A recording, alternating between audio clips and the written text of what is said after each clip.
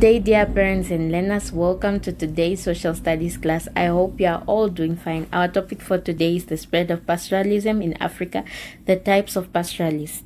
To start off, let's look at different types of pastoralists and um, in forms of pastoralism. We have the pastoralist of the Sahara, the pastoralist of the Sahel, the pastoralist of East Africa, pastoralist of Southern Africa.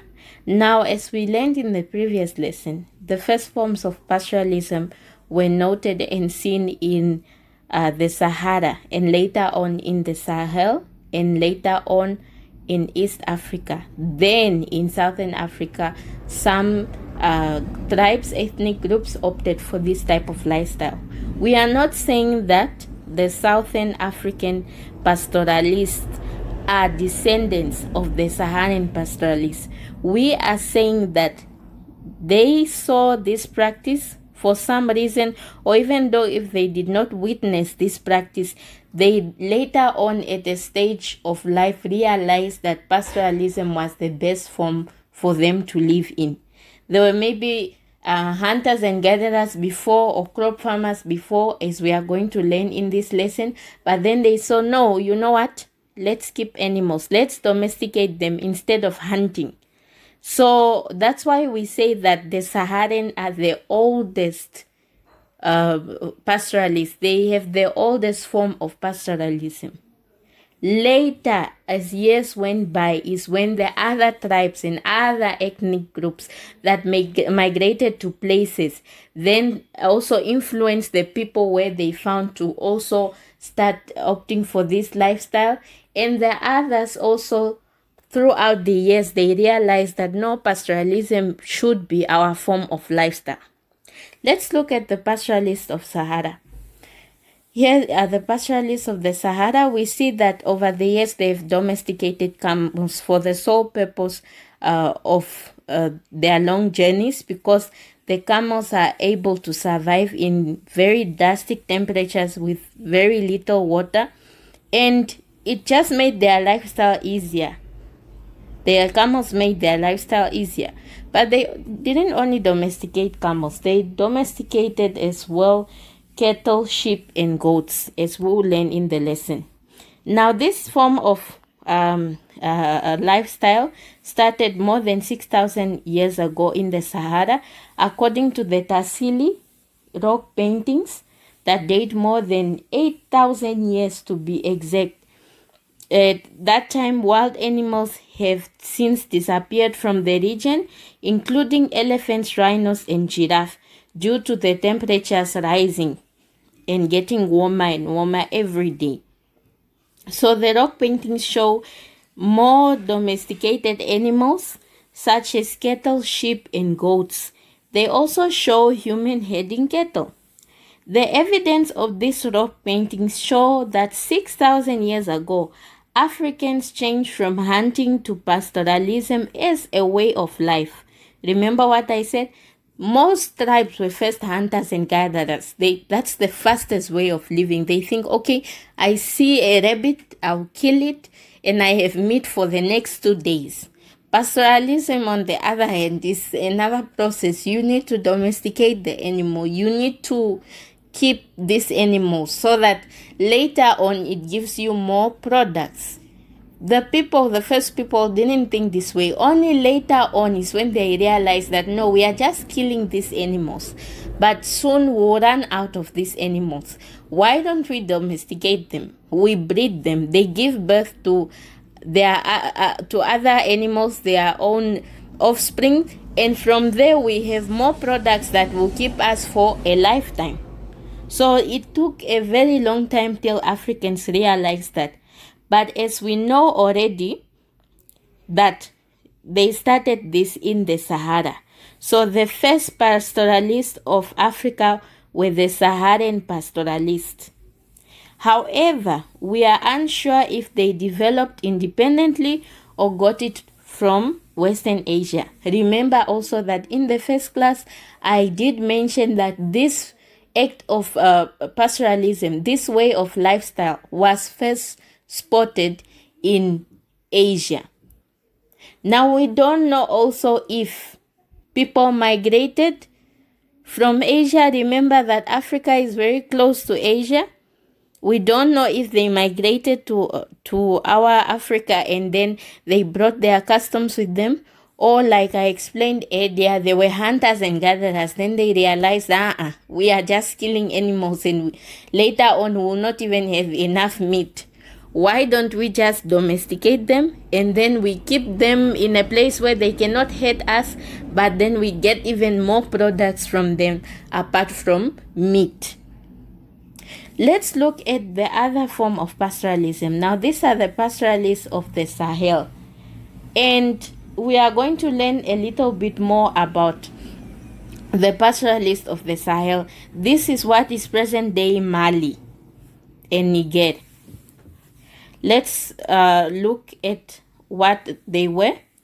About 3,500 years ago, the Sahara began to dry up due to climate changes. Remember that the Saharan desert was not always a Saharan desert. It had rivers and other things due to climate change. Then it, at a certain point, it started becoming a desert.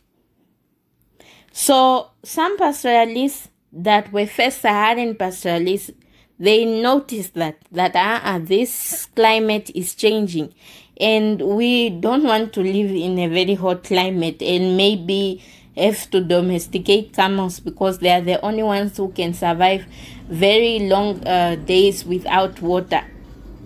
So they said, you know what?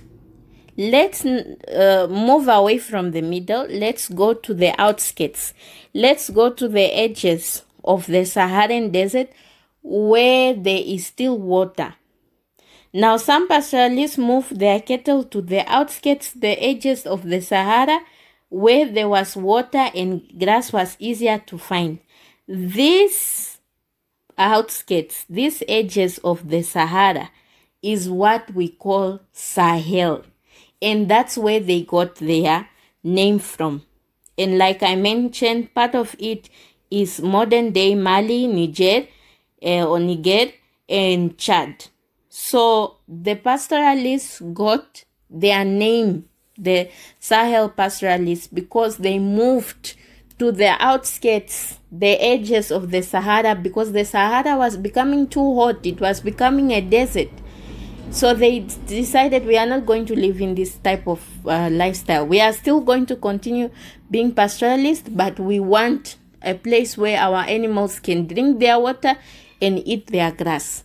So they moved to the Sahel, and that's where they got the name the Sahel pastoralists. Sahel pastoralists live in temporary camps. The camps were surrounded by thorn fences, fences sorry, to keep out predators such as lions. They made their fences in order to protect themselves from predators. Here is a picture of pastoralists of East Africa, modern day Tanzania or Kenya. Soon pastoralism reached the east of Africa as we learned. This pastoralists sheltered in caves and under hanging rocks just as earlier hunters and gatherers have done. These shelters say, uh, served as safe areas where they could stay while moving their livestock. Other uh, pastoralists, they lived in temporary uh, shelters, but these pastoralists of East Africa lived in more semi-permanent huts, which were plastered with cow dung, cow poop, to make them waterproof. Women grew small crops and kept chicken while the men cared for the cattle, sheep, or goats. An example of this, this form of pastoralism are the Maasai in Kenya as seen in the picture. I think you have seen um, uh, the Maasai in other pictures on the internet before. Very tall people who wear very long uh, necklaces and they are very tall people. They live in Kenya. They are a tribe. So these are pastoralists of East Africa. They keep livestock such as cattle, sheep, or goat. Some forms of pastoralism like these as well, like the Maasai, can also be found in Tanzania. Let's speak a little bit about the pastoralists of Southern Africa. Here is a picture, the Khoekhoe. The first people in southern Africa were hunters and gatherers, like we know, the San. But some began to adopt the pastoralism lifestyle. As we know already, even in Namibia, they are one of the oldest ethnic groups ever to live on the face of this earth. They were the San people. They were hunters and gatherers. And they dependent uh, they were dependent on hunting. But they soon at a certain point some uh, uh, uh realized that we can't keep hunting. We need to change our diets. We need to see other forms of lifestyle. So they opted for pastoralism. Meat and milk also became a priority, first from sheep, goats, and then later cattle as well. These pastoralists gave themselves the name Khoekhoe, which means men of men, and they named themselves Khoekhoe because they were taller than their San ancestors due to their new diet they were now having different bodies. They were not short like the San way because you can't just be eating meat every day. As you already know, you need other things to help your body your body grow. Other proteins and other stuff to help your body develop and grow. So as soon as they changed their diet, they also started now to develop Pastoralists had more possession compared to the San. They saw their cattle and other possessions as belonging to them rather than a, a uh, rather than to a group as a whole. Let's say we are all Sans, ne San people. If Miss Luango, for example, would uh, hunt an elephant, Miss Luango would then proceed to call Leandre and her family, Anastasia and her family, and so on to come and eat this elephant because Miss Luango and Leandre and all of you as San believe that that elephant belonged to us as a group. It's ours. It's not just for one person, it, it's ours. But with pastoralism, it's completely different. When I have a cow, that is Miss Luango's cow. It's not Leandre's cow. It's not Anastasia's cow or whoever. It's Miss Luango's cow. So the cattle belong to Miss Luango's cow, uh, Miss Luango's family and Miss Luango herself. And that was how they started to view their possessions as well possessions belonging to individuals and families rather than a group. Now, men became more important than women because they took care of cattle, which was the group's survival. Now, it's what the group depended on.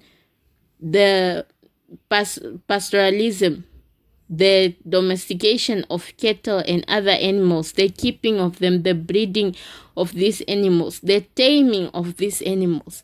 So, men now, because they did most of that job, they became the most important people. I hope you enjoyed this class. Looking forward